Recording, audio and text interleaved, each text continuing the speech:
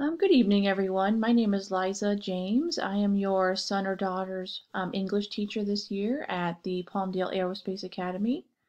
I am um, a, what's it called? I've been in teaching for about four years now. Uh, before that, I worked in special education as an aide, um, but I knew that English was in my heart, and I've loved English since I was in seventh grade, so I uh, went to school and became an English teacher. Um, this year I have, uh, I teach four classes of um, English 8.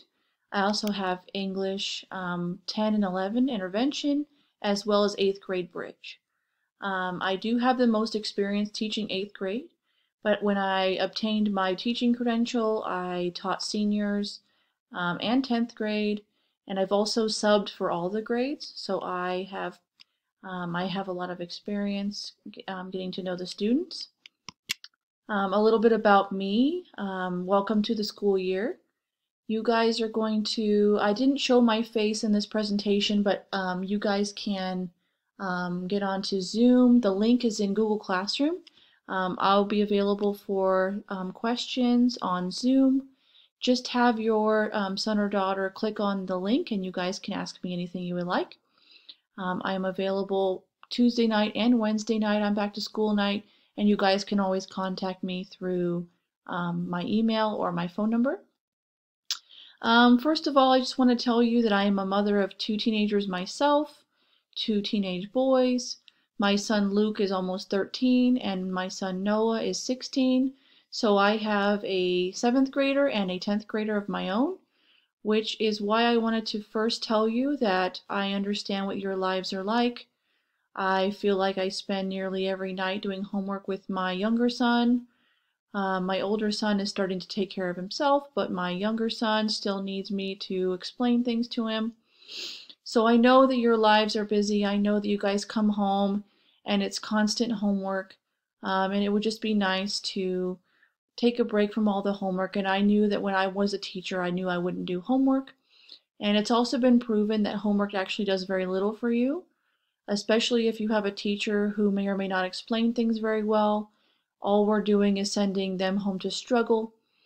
So instead of uh, doing that, I am honoring your nights to rest and to, I guess, do your homework in your other classes. But I really want you to take the night that you would have spent doing your English homework and just relax and breathe, especially right now.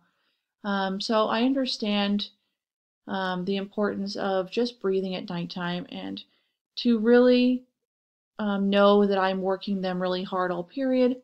I work from bell to bell. I don't give them much of a break because of the lack of homework. Um, I do have a bachelor's degree in English, a teaching credential in English, and I have a master's in education with an emphasis in writing. Um, some teachers are more obsessed with reading. I am more obsessed with writing.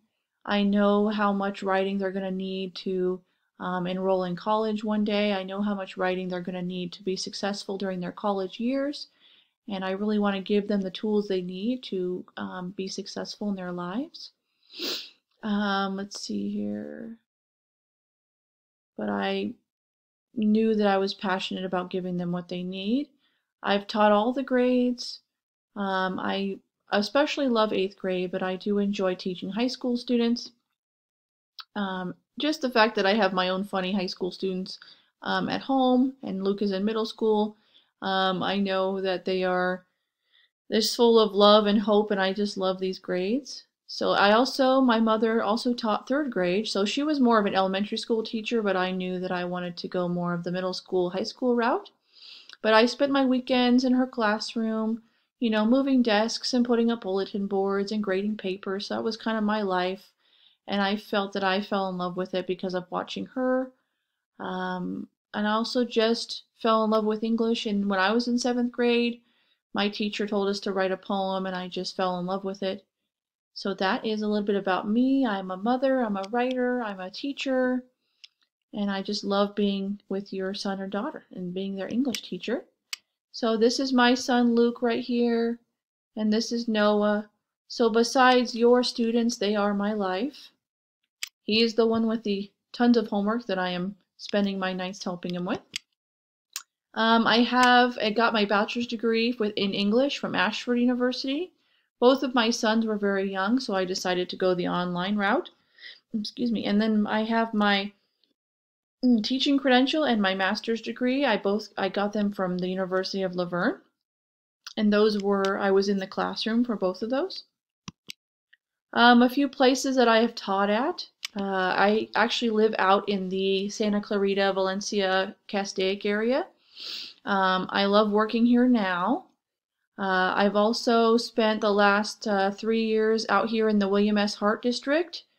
I've taught high school here, um, Honors English 9.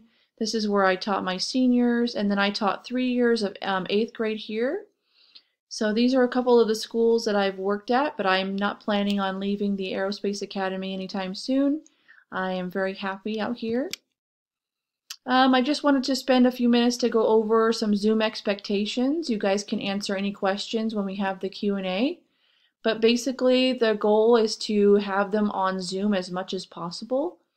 Um, I know how, you know, some parents aren't crazy about having their computer, their kids on front of the computer all day. Um, I, as a mother, I get that myself. You know, I'm I'm over here teaching at home, and my kids are upstairs on their own Zoom and it becomes kind of a problem. But I just wanted to uh, share with you that we'll be, we'll be Zooming every day unless Zoom is having a breakdown. Um, on Tuesdays and Thursdays, I'm pretty much going to be giving them some directions to work independently. Otherwise, the other three days of the week, we will be Zooming for the entire class period. I am working them. I am making sure they are staying busy. Uh, I do want there to be um, because I don't give any homework, I want them to be active participants. And please tell them to um, sign in to Zoom with their first and last name only. If they sign in with a nickname or something else that they want to be called, I really won't recognize what that is yet. Uh, they're not required to have their cameras on, but I do request sometimes that when they are doing their group works, I like them to see each other and really for all of us just to get to know each other better. Um, let's see, just to be respectful and kind with each other. Um, I know that if you are bullying or dis being disrespectful in my class, I will remove you from the Zoom call and you will probably get a call or an email from me. Um, please make sure that they are actually focusing. I know you guys are working full time, you have your own things going on, I understand it. Um, but when they are on Zoom, I'm noticing that students are either gaming or they are listening to music. If you could please just make sure to remind them that when they are in class, that I need to have their focus. Um, I live and breathe by the Common Core standards. Uh, everything that I've been trained on has been preparing seniors for the real world, preparing eighth graders for high school and their future. I love to have them do, they've already um, completed their vision boards which is a project that I'm passionate about, where they are starting to plan what they want their lives to look like and what they're going to work towards every day. I have them do career research projects. Um, we write a lot of essays. I'm going to give them the tools they need, some acronyms to remember for when they're taking their SATs here soon. Um, for the eighth graders, I realize your SATs are probably a few years off, but it's never too early. Um, but I always give them you know, we're going to be doing quizzes, we read novels. But my main thing that I think sets me apart from the other teachers is that I really believe that learning should bring joy. And I'm always finding fun ways to bring in games, like we're playing syllabus bingo here soon. And I always try to think about what is going on in their lives and maybe having a teacher who could bring in some fun rather than, you know, let's learn a lot of vocabulary, let's do things that they're not going to get excited or engaged about. I would prefer that they're excited about what we're learning. We're going to be using all of these programs. Um, they are used to using StudySync and ThinkCERCA. We're going to use that. But I'm also going to bring in other programs that I've found to be successful in the past. They're going to be citing evidence. They're going to get the tools they need, and I am committed and passionate to make sure that they do. We've decided as an English department, and I've just jumped on board with that, that because I don't do homework, Some of the teachers are making 45% of the grade homework and classwork. For in my class, it's only 45% will come from classwork, 30% writing, and because of the distance learning, we're not placing a lot of emphasis on the testing and quizzes, although it is still important. And then participation is probably my biggest factor. I really want to know that they are participating and I will be asking random people questions. I like to make sure they're paying attention. Um, besides that, you guys need to know that your students have been emailing me. If they send me a message on Google Classroom, I am always looking at my phone. I'm always making sure I get back to them. They should never have to wait more than, you know, an hour or two to hear from me. It'll more than likely be about 10 minutes. That's, I'm pretty fast. I just, um, you know, not to toot my own horn, but they are what I think about. I want to make sure that, you know, I really don't sleep very well if the students are, you know, if they're lost or they're struggling. And I, if they, if they leave my classroom and I know that all of their work is done, um, you know, everybody can breathe at nighttime and then come back and, and work hard again the next day. So um, please know that teaching is my life. I always knew I would be a teacher. I watched my mother do it. It just makes me so incredibly happy to see them excited and engaged.